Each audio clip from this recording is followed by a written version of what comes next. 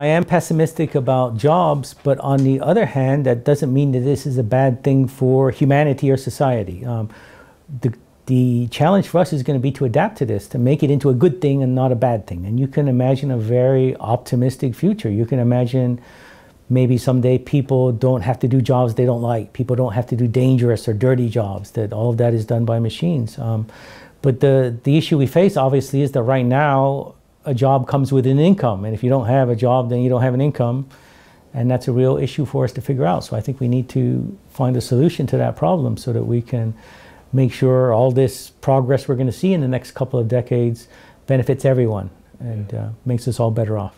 This is a general purpose technology. It's going to be everywhere. So the, the real answer is almost every industry. Some may be hit first before others and, and it may be quite unpredictable, but you know, as you look at industries across the board, think of fast food, people flipping hamburgers, uh, people driving cars, Uber drivers, taxi drivers, uh, people in working in warehouses and factories and, and, and offices everywhere. It's really just everywhere. So I think it's going to be a very systemic impact.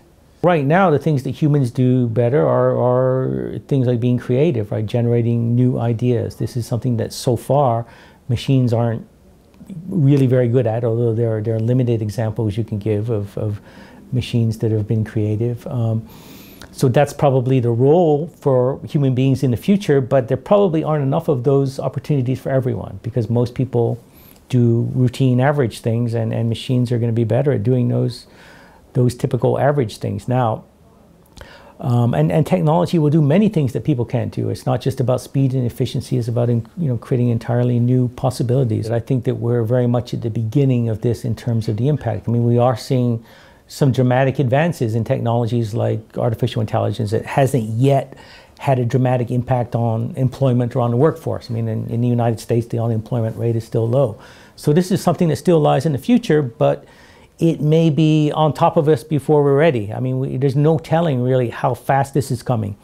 I tend to think in terms of 10 years from now, 15 years from now, that, that we're really going to see a significant impact, but that's really just a guess. Yeah. Um, there's really no way to say with any certainty how soon this is going to arrive, and certainly many people think that it might be more like five years before we really start seeing a dramatic impact. It's overall definitely a global thing. It may manifest in certain countries first if they're on the sort of leading edge of the technology. Um, but it has implications for rich countries and poor countries. I, I, I did a, a, tour in China where I talk about this and there's tremendous interest in there. All the factories are automating in China. They're bringing in robots and that's going to impact jobs in factories for millions and millions of people. So um, every country in the world will be impacted by this for sure. The way this ties in to my mind is that you know the issue that I've talked about a lot is that if technology creates lots of inequality, if it eliminates lots of jobs, um, then that can undermine growth. I mean, you know, in order to have a successful market economy, in order for capitalism to work, you've got to have consumers. You've got to have people that can buy the products and services being produced. So if we get into a situation where technology eliminates the jobs that gets money into the hands of the people to buy things, then how, how are we going to have a thriving economy? How are we going to have economic growth? The idea is you have a guaranteed income floor, and that does two things. It allows people to survive economically so that they're not living on the street, and it also gets money into their hands so that they can help drive the economy. So it is one viable solution to this problem.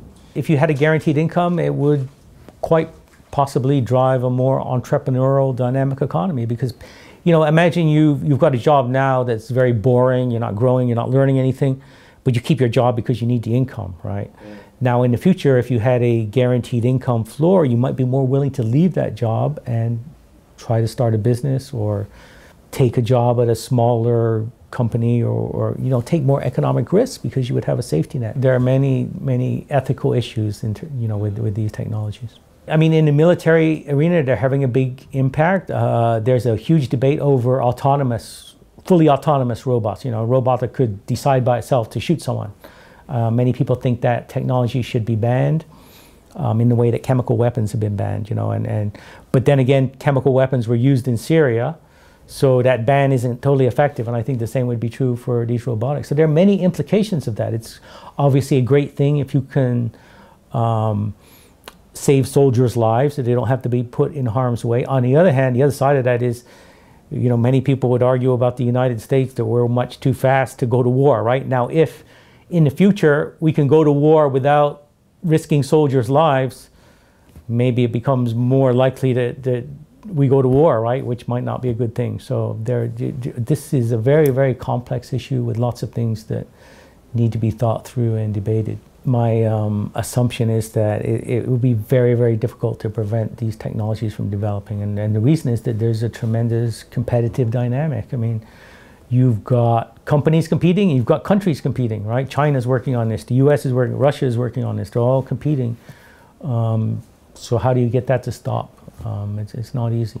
One of the problems with that is that because it's been in so many science fiction movies, people tend not to take it seriously and, and want to really seriously discuss these issues because they, it opens them up to ridicule, you know, that, that you'll be, you, you know, you're talking science fiction. But in fact, these things are becoming real and they're important issues that we need to think about.